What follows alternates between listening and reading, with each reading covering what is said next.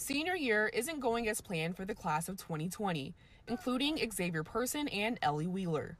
Due to the pandemic, the St. James Academy seniors are missing out on milestones. Um, it's really upsetting because, you know, we don't get senior prom, graduation, spring sports were canceled. While St. James is working on rescheduling both prom and graduation, Xzavier and Ellie are creating their own memories for now. Last week, they got all dressed up to take prom pictures and did so while social distancing. It may not have felt the same as getting dressed up for their final dance, but the moment was still special. It's a great idea. I would have never thought of it, but um, it was super fun and the weather was nice and they just turned out really well. Xzavier says the photo shoot was his sister's idea. I had bought my suit earlier and then my sister was like, You don't want it to go to waste, so I'm forcing you to take pictures. Ellie is glad her prom dress didn't go to waste either. She's still hopeful prom will take place, but knows things will be different. And they say that we will eventually get to have our prom and graduation, but it's just not going to be the same.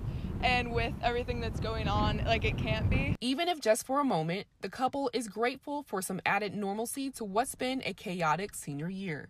Jessica Ely, Fox 4 News.